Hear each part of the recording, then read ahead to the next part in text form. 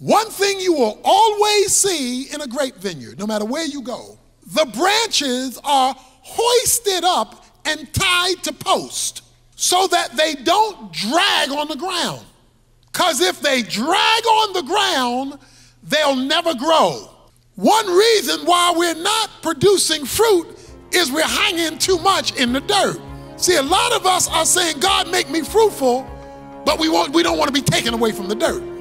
You've got to give God freedom to take you away, to elevate you above the dirt. So that means you've got to want the sun more than the dirt.